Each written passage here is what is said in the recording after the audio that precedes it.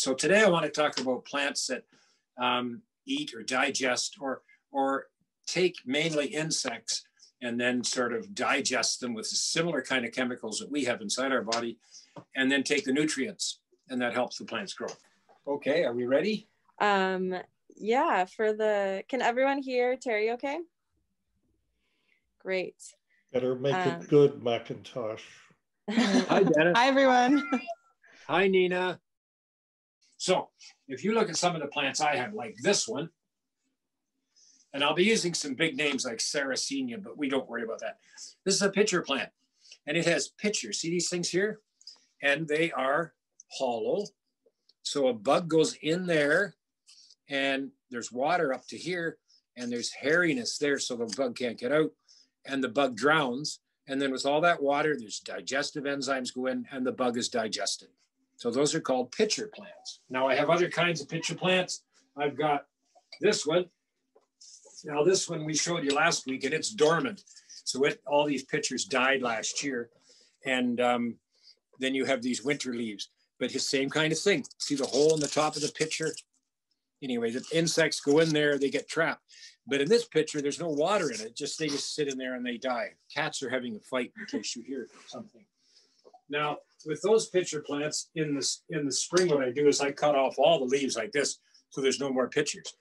But if we do this again in the summertime, you'll see baby pitchers come up and flowers will come up from there to do new pitchers. And those, remember, we call those plants from last week dormant. So they rest over, over the winter time. Now we have here, and I'm going to just pull this out because what the heck, eh? In this bog here, I've got baby pitcher plants. See them? These baby pitcher plants are really cool. And um, they are from seeds, which I didn't expect. My hands are getting really wet. Remember last week I showed you things drip out of the sphagnum moss. Anyway, these things are really cool and they'll eventually grow up into that big pitcher plant I had before. We also have another kind of pitcher plant this is one where scientists got together and they made one. This is a pitcher plant that has hoods. It hasn't quite grown this year, but it has little hoods. These are hollow, and this little hood opens up so the insect goes in there and gets trapped.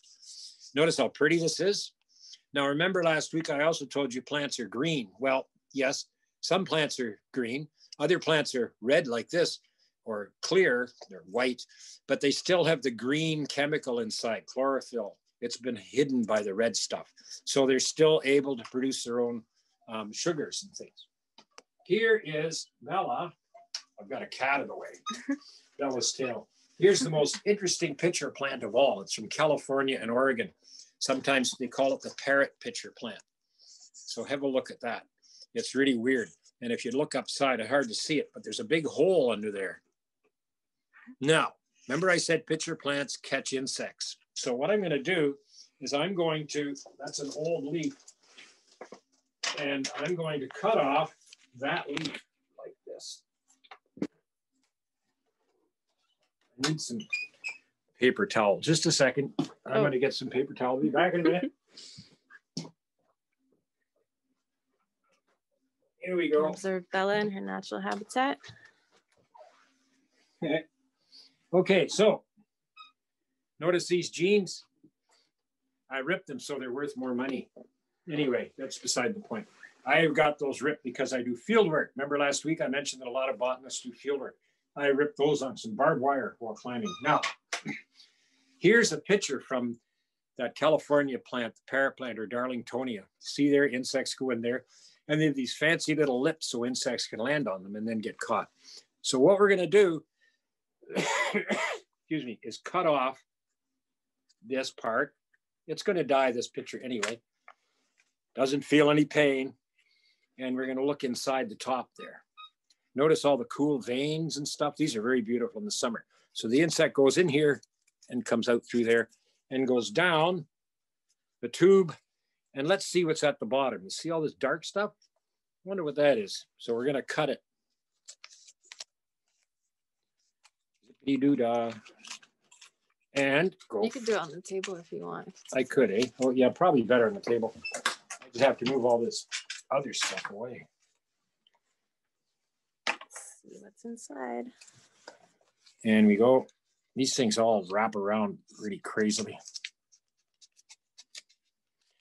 Now, something about if there's kids out there listening, and I know there are, if you get old, one of the things that happens is you um, your eyesight doesn't end up being so good. I have to put on glasses, so I'm just putting on my glasses. So, see where all that purple is? We open that up, and what's in there? Bugs. Lots of bugs. I'm going to clean those out. All those bugs were caught last summer. Look at that. Now, looking at those bugs, now, if you look behind me here, by the way, see these things? These are called microscopes. And what I would do is I'd put those fly heads, they're mostly flies, I'd put them under the microscope and I, I could maybe identify some of them. But most of these are heads of flies. But where'd the bodies go? Well, they were digested at the bottom of this by enzymes, just like in your tummy. So let's try another one because that was fun. Let's do, uh, oh, let's see. I, oh, yeah, one of these guys, big ones. I'll find one that's got lots of stuff in it. Oh, that's got lots of stuff in it. So same thing with this guy. See how it's dried up? Cut off its head like that. Oop. See if we can find any other kinds of insects in here. It's pretty interesting, actually. You can find yellow jackets. I used to sell these to people for their barbecue, around their barbecue, so that they could get rid of all those yellow jackets. Oh, look in there. More flies. Lots of flies in the neighborhood. Look at that. There's probably, oh, maybe 20 or 30. So these plants, one leaf caught 20 or 30 of these things. Anyway, here's another pitcher plant, by the way, that's purple, that's really green. This is one, remember last week I told you about my bog habitats and all these sphagnum mosses. This thing's kind of died back for the winter, but otherwise, now this is like the first one I showed you. It's got these really cool hairs. I don't know if you can see them in there. So when the bug goes in, he can't get out. With this one I showed you over here, the Darlingtonia, the bug gets in and it can't get out because it can't figure out how to get out. With these ones here, the one I just cut open, those are slippery inside and the bug can't get out. Anyway, that's one kind of plant, one kind of carnivorous plant. That's a pitcher plant. But we've got more. Get this riffraff out of here. The next one I'd like to show you is the sundew. Now, sundews, they don't have pitchers. What they've got are fancy leaves, which have um, little hairs on the end, and all of those hairs have sticky stuff. See all the hairs with the goop on them? Now let's see if I get a good one. So if an insect comes along and gets a hold of it, it gets stuck. Can you see those little things? Bella, my cat Bella, the bad girl this morning, she got stuck in one, but it wouldn't hurt you. Now, some people think pitcher plants and and uh, sundews can hurt you, but they're completely harmless to you as a person and most animals, right? Because they're very weak in most cases. So these are really cool. So if I took off, well, I don't have to take off the leaf, but you see how the hairs go around. Now, what happens is an insect gets caught, like here, there's a couple of insects that have gotten caught here and here. When they get caught, the hairs go around them, they go down to the leaf, and digestive enzymes go up and gobble them up, and they take all the goodies. That's one kind of um, sundew. The, the, the name for sundews in science is called drosera. But anyway, here's another one. Here's one which splits its leaves, goes this way, this way, and it too. This one's even stickier. Look at this. It's stuck to my hand. Really cool. And it actually tastes good. No, I don't want to taste it because it might have bug juice on it.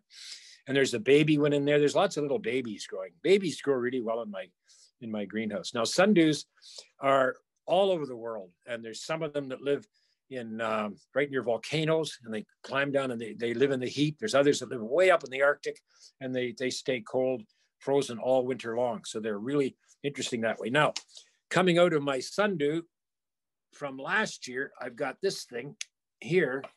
Don't know if you can see it, but get a white background maybe. Anywho, there, see that stalk? If you remember last week, I showed you the flowers on an orchid. Last year, this produced little white flowers, and the flowers have dried and they produce seeds.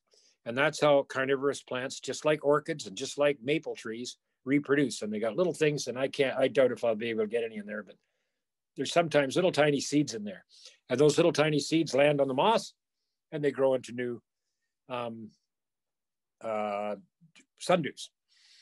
Now, that's a sundew. There's two kinds. I've got about five kinds in there here. How's our time? We're good. Oh, good. Okay. Where we're at. Now I want to show you the killer bunnies.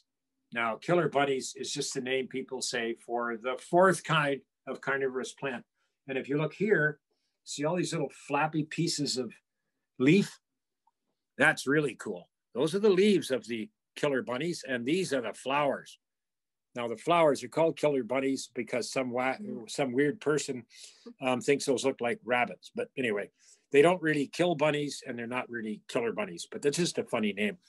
But they catch their bugs by having little. Here, I'll show. I guess I better show them. On their roots, they've got tiny, tiny little traps, and these traps are like this, and they've got hairs outside. And when a little tiny bug goes by in the soil, they open up and close again not like a Venus flytrap. That's not really good. They get little doors anyway, and they get trapped inside and then they get digested. So these also are able to eat insects. And those are called, well, um, I don't know if they're the bladderworts or some silly name. Anyway, I like the killer bunnies. There's lots of different kinds. And last but not least, and I'm afraid it's dormant right now, but there's not much, is the one that everybody knows about, and that's the Venus flytrap. Now it's not from Venus, but it does trap flies. You see here, there it is. Now it's not active. If I do this, it should close, but it's not doing it. There's little hair triggers. It's just finishing off. It'll grow. This will be a really big Venus flytrap in the summertime. It's dormant. Too bad, but you get the idea. Now, I've had people, adults, by the way, I say, put your finger in there and they won't do it because they think it'll hurt. Well, it won't hurt. You just go in and it traps around. Now, um, I know it's uh, not very good to show you this right now because it doesn't work. So you have an assignment for this week, and your assignment is to go to YouTube and Google. Well, you don't Google on YouTube. Go to YouTube and type in Venus flytrap. Doesn't matter if you don't know how to spell it. Get your parents to spell it, or just goof around and learn how to spell it, and then look at a couple of videos or one video and see how these things work. They are really cool. All right, I'm gonna unmute the mics so, or ask all of you to unmute. This button works. Oops. And if any of you have a question, I think you can just chime in and ask. Maybe, I don't know if Nina, you have one or anyone else. Can you hear us okay? Oui. Uh-huh. I heard somebody. that was Nina, I believe. En français. En français. Oui. En français, oui. well done, Jess. Looks like we have a classroom too. So, any questions about carnivorous plants, what they like to eat, or um, Oui, desert what plant? do they like to eat? What do they like to eat? Mhm. Terry can tell you. We saw some flies, but what else? They like Um, flies and yellow jackets and moths and uh, any insect at all that flies. But they don't they don't eat slugs. Yesterday we found a slug in one of the pitcher plants and it was quite alive. All Oh right, we have some chats here. We have some chats. Okay, um, from Eva's class, our microphone is not working, unfortunately, but we are wondering how long Venus flytraps can live for. Venus flytraps live for a long, long time. The problem is people sell Venus flytraps and they don't tell you how to look after them. So there's lots out for sale in the stores, and you buy a little Venus flytrap and you put it in water and it lives, and then it starts to die. And everybody thinks, oh no, my Venus flytrap is dead, and they throw it out. Well, you shouldn't do that because it's just going dormant. What you do, if you buy a Venus flytrap and the leaves start to die, then what you do is you just put it in the window ledge. Don't let it dry out, but don't sit it in too much water. Don't let it dry out in the next spring. Boom, more leaves, and it's even bigger then, and much bigger traps. So that's so they can live. This Venus flytrap here is 15 years old, but look at him. He doesn't Oh, look. this is like me. 15 years old. Do you know like a max that lifespan for the Venus flytraps or No, no? I think what happens, Venus flytraps are like a lot of plants, and that is they grow and then they break off into more plants. So they really don't, and these little plants then grow so they can, in a kind of way, I guess some Venus flytraps have lived almost forever because they were some of the ones they collected in the 1800s um, in America are still alive in the Kew Gardens in um, England. So there you go. There you go. So we have another good question here. Someone asked if plants make their own food through photosynthesis, why do they need to eat insects? Oh yeah, good question. Scientists they think they need um, uh, extra nitrogen because a lot of the places they live in, like bogs and things, don't have enough of some of the nutrients. So they eat insects to supplement their. Because in, in wetland situations, like in sphagnum bogs, there's not many nutrients, right? So they have to get nutrients extra places. Cool. Just like us, we can't live on peanut butter. so another classroom is wondering where you get your plants, Terry. I well, I've been collecting. I good question. I get them all over the place. Sometimes I buy them from people, and then I grow them. Other times I collect them. I, as a botanist, I collected some of these guys way up in northern Ontario. A few years ago, I went up to the muskeg up there, and I collected these, and I'm growing them. But most of the time, I don't remember where I got some of them, but I'm very good at growing them. So maybe I bought one, and now I have 50 of them, right? And I sell them to a few nurseries so they can sell them to people. I got the um, raging bunnies or the killer bunnies from my friend Nikki, who has lots of uh, plants as well. She she grows all sorts of carnivorous plants plus desert plants. A lot of us do the same thing. We like plants that like dry and like wet. We're we're silly sometimes. Any more questions? Yeah, there is one. I just hang on one second. Here it is. Um, Eva's class is wondering which carnivorous plant can eat the biggest insects. Do you know? Probably the one I don't have, which I unfortunately lost because it got too cold. There's a there's a type of carnivorous plant that lives in the jungles called Nepenthes. Now I don't know what the common name is for that, but Nepenthes grows as a vine and produces these huge, sometimes small pitchers, but some of them are huge. They hang upside down, and apparently they found dead mice in them and Whoa. so forth. So um, I, maybe they just drowned because a mouse should be able to eat its way through inside of it. But those are the ones that can eat the biggest ones, and they've seen moths this size being caught in them, cool. but also tiny moths. Cool. They're gonna look that one up. Um, someone else is wondering which plant eats fruit flies. Ah, these guys love fruit flies. Drosera. If you have this, the problem is, is you have this in your house and you don't, all of these have to be in a container of water underneath so they stay wet. They can't dry out if you have this in your house, it's so dry that all these little globs will dry up. That's just the way it is. So you have to keep it. Maybe you had a little aquarium in your kitchen. It would eat fruit flies. But you know the best way to get rid of fruit flies. Um, what was that joke? I heard a kid's joke. Anyway, um, the best way to get rid of fruit flies is if you get a banana peel, right? And you take that banana peel and you put it in your oven on a tray, and then you keep it there, but keep your oven open just a little bit. And then in the morning, close the oven and turn on the heat. And there'll be lots of fruit flies in there and they'll just disappear. Mind you, they might fall to the bottom of your oven and someday you may eat some of the skeletons, but I don't think